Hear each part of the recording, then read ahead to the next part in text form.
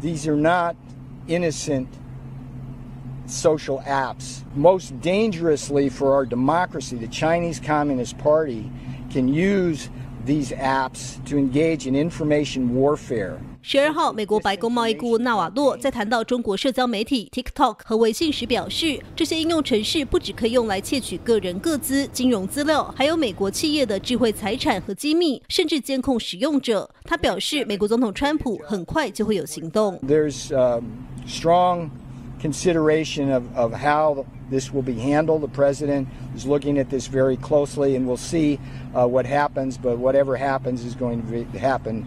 Uh, very soon. 美中角力，多方开战。美国国家安全委员会十二号发推文表示，美国白宫国家安全顾问欧布莱恩正前往巴黎，除了代表美国参加巴士底日仪式，也将与法国和欧洲官员会面。美国政治新闻网站 Political 报道，国安副顾问伯明将与欧布莱恩同行。报道指出，他们将与法国、英国、德国、意大利官员会晤，聚焦西方国家与中国的竞争，从五 G 到供应链以及其他多边议题。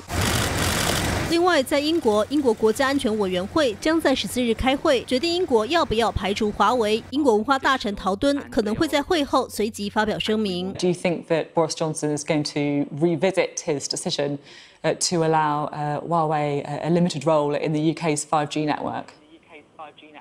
Uh, that's certainly my expectation. I'm one of the individuals who's been pressing very hard for uh, Huawei to be excluded from the UK's 5G。英国 MI6 前局长迪尔罗十二日接受天空新闻访问时表示，自己希望将华为排除在外。主持人也问到英国和其他地区对中共态度迅速改变，迪尔罗表示，英国目前正是这种情况，英国正在重新定位与中共领导者的关系。新唐人亚太电视张麒麟综合报道。